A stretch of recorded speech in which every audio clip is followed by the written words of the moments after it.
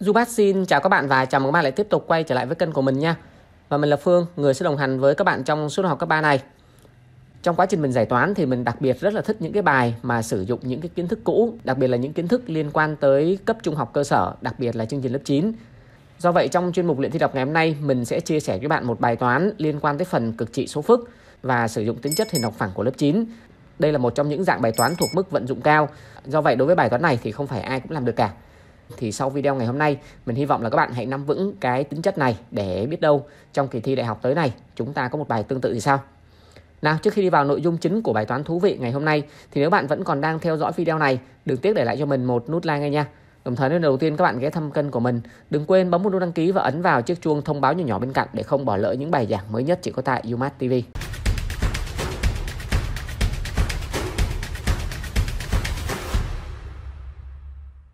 Trước tiên thì chúng ta cần tìm hiểu một kiến thức của hình học phẳng lớp 9.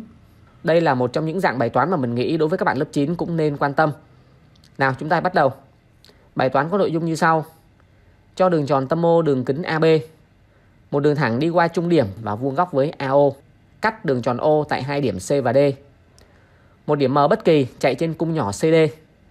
Khi đó ta luôn có MC cộng MD bằng MB. Nào đầu tiên các bạn sẽ quan sát trên cái hình vẽ như sau. Thì trên hình vẽ này các bạn sẽ thấy được là điểm M nó luôn chạy trên cái cung nhỏ CD. Trong đó CD đi qua trung điểm và vuông góc với AO. Như vậy bây giờ chúng ta sẽ cần phải đi chứng minh đó là MC cộng MD bằng MB.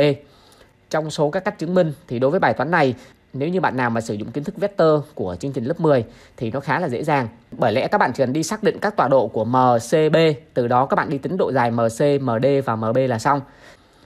Tuy nhiên thì đối với chương trình lớp 9 thì nó sẽ khó khăn hơn một chút. Do vậy mà mình sẽ giải bài toán này đứng trên vị trí là ở chương trình lớp 9 nhé các bạn. Còn mình cũng sẽ đi tính độ dài của MC, MD và MB thôi. Tuy nhiên thì cách tính độ dài của chương trình lớp 9 thì không thể sử dụng kiến thức vector được. Do vậy nó sẽ mất thời gian hơn một tí. Đầu tiên thì mình sẽ tọa độ hóa cái đường tròn này về cái hệ trục OSI như sau. Không mất tính tổng quát thì các bạn hãy coi đường tròn tâm O này có bán kính là 2 luôn nhé. Và điểm M sẽ có tọa độ là XY. Trong đó thì các bạn để ý là X nó sẽ nằm trong khoảng từ trừ 2 tới trừ 1. Đường thẳng CD sẽ đi qua trung điểm của AO, tức là đi qua cái điểm có hoành độ là trừ 1. Dựa vào đây thì các bạn có thể xác định được tọa độ của các điểm như sau. Đầu tiên là tung độ của điểm M, đó chính là bằng căn của 4 trừ x bình. Còn à, tung độ của điểm C là căn 3 và tung độ của điểm D chính là trừ căn 3 để xác định được những cái giá trị này. Các bạn chỉ cần đi xét tam giác, vuông và dùng định lý Pythagore là xong thôi. Tại vì ở đây độ dài của các cạnh ta đều có hết rồi. Rồi, nếu bạn nào chưa hiểu thì các bạn có thể là tự ngồi nhẩm để xác định lại như thế nào nhé.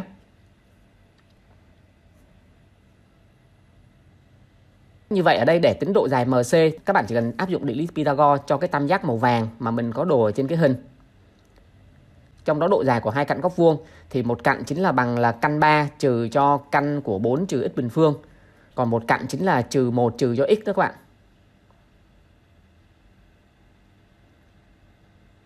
Rồi như vậy thì lúc này ta sẽ có được độ dài của MC sẽ bằng là trừ x trừ 1 bình phương cộng cho căn của 4 trừ x bình phương trừ cho căn 3 bình phương. Ở đây thì trừ x trừ 1 tất cả bình phương thì nó cũng như bằng là x cộng 1 bình phương thôi. Không có gì cả. Rồi đến đây các bạn phá ra và rút gọn. Ta sẽ có được là MC sẽ bằng là căn của 2x cộng 8 trừ cho 2 căn của 12 trừ 3x bình phương. Tương tự như vậy đối với việc đi tính độ dài MD, các bạn sẽ xét cái tam giác màu xanh mà mình đồ ở trên hình. Các bạn cũng sẽ đi tính độ dài của hai cạnh góc vuông. Từ đó chúng ta cũng sẽ tính ra được là MD chính là bằng là căn của 2x cộng 8 cộng cho 2 căn của 13 trừ cho 3x bình phương. Và tiếp tục như vậy, các bạn cũng đi tính cái độ dài đoạn MB bằng cách là các bạn sẽ đi xét cái tam giác vuông màu cam và tương tự, ta cũng sẽ đi tính độ dài của hai cạnh góc vuông và áp dụng định lý Pythagore. Ta cũng sẽ tính ra được là MB chính là bằng căn của 8 trừ 4x. Thực ra cái đi tính các cạnh này rất là dễ dàng nhé. Các bạn lớp 9 nên theo dõi và tự lấy bút ra tính toán lại giúp cho mình. Còn đối với chương trình cấp 3 khi mà các bạn đã học vector, các bạn đi tính độ dài của các cạnh này dựa trên những cái tọa độ có sẵn thì chỉ trong vòng một nốt nhạc là xong. Đối với chương trình lớp 9 thì nó sẽ hơi lâu một tí xíu vậy thôi.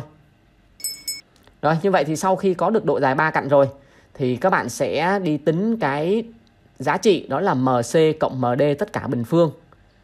Và các bạn rút gọn, các bạn sẽ thấy kết quả nó ra về đúng giá trị của MB bình phương luôn. Ở đây mình trình chiếu cho bạn thấy nhé. Mình sẽ không trình bày cái phần này nữa. Coi như nó là một cái phần để các bạn tự kiểm chứng lại như thế nào. Dựa trên cái lời giải mà mình cung cấp cho các bạn, các bạn sẽ thấy được rằng là sau quá trình mà đi tính giá trị của MC cộng MD tất cả bình phương, rút gọn các bạn sẽ ra được là 8 trừ 4x và 8 trừ 4x chính là bằng MB bình phương. Do vậy thì các bạn sẽ có được là MC cộng MD tất cả bình phương thì bằng MB bình. Vì vậy mà chúng ta sẽ có được là MC cộng MD bằng MB. Và ta có điều phải chứng minh. Đấy, thì dựa trên cái tính chất này thì chúng ta sẽ làm một cái bài số phức của chương trình lớp 12 nhé. Nào, lúc này các bạn lớp 12 chú ý giúp cho mình. Bài toán có nội dung như sau. Cho số phức z thỏa mô đun z bằng 2. Biết giá trị nhỏ nhất của biểu thức P bằng mô đun z cộng 1 trừ cho căn 3y cộng cho z cộng 1 cộng cho căn 3y cộng cho mô đun của z cộng 5 phần 2 trừ 3 phần 2y có dạng là a căn b trên c với abc là nguyên và phân số là tối giản hết rồi. Hỏi giá trị của a cộng b cộng c. Đáp án a là 14 đáp án b là 15 đáp án c là 16 và đáp án d là 17 như vậy thì để giải bài toán này, đầu tiên các bạn cũng sẽ đi tìm cái quỹ tích điểm biểu diễn số phức z. Bằng cách chúng ta gọi z bằng x cộng y biểu diễn điểm m tọa độ xy và do modul z bằng 2 nên ta dễ dàng suy ra được là điểm m sẽ nằm trên đường tròn C, có tâm O tọa độ 00 và bán kính R bằng 2. Cái phần mà đi tìm quỹ tích của điểm biểu diễn số phức z dưới dạng cơ bản này thì mình không nói lại nữa nhé. Các bạn nào mà chưa nắm thì các bạn sẽ cố gắng học lại cái bài đi tìm ờ, quỹ tích điểm biểu diễn số phức z thông qua một cái đẳng thức cho mình.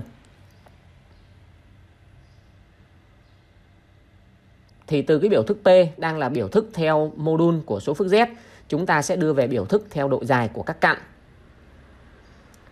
Cụ thể ở đây biểu thức P chính là độ dài tổng của ba cạnh MC cộng MD cộng ME với điểm C tọa độ là trừ 1 căn 3, điểm D tọa độ là trừ 1 trừ căn 3 và điểm E là trừ 5 phần 2, 3 phần 2. Nào chúng ta biểu diễn trên hình học xem nó như thế nào nhé. Như vậy nhìn trên hình vẽ các bạn sẽ thấy là biểu thức P của mình chính là bằng 3 cái độ dài là MC cộng MD cộng ME. Và các bạn để ý dùm cho mình cái tổng MC cộng MD thì theo cái tính chất mà mình vừa mới cung cấp ở đầu video nó chính là bằng độ dài đoạn MB đó các bạn.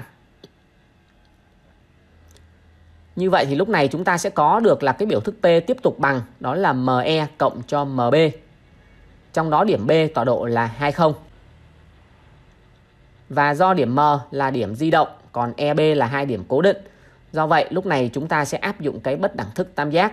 Ta sẽ luôn luôn có được là MB cộng ME sẽ luôn luôn lớn hơn hoặc bằng là BE.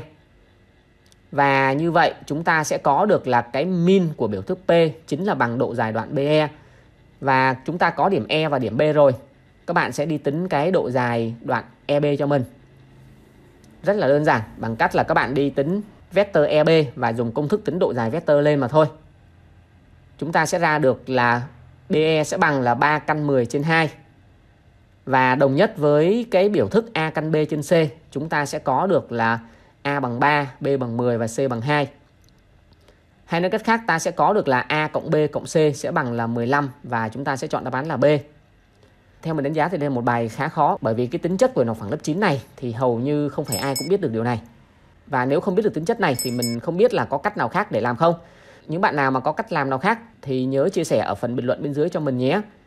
Mình kết thúc cái video này tại đây. Nếu bạn thấy bài giảng này hay, đừng tiếc để lại cho mình một nút like ngay nha. Đồng thời nếu lần đầu tiên các bạn ghé thăm kênh của mình, đừng quên bấm một nút đăng ký và ấn vào chiếc chuông thông báo nhỏ nhỏ bên cạnh để không bỏ lỡ những bài giảng mới nhất chỉ có tại UMass TV. Mến chào và chúc các bạn một ngày học tập thật vui và thành công. Hẹn gặp lại các bạn trong các chuyên mục luyện thi đại học tiếp theo.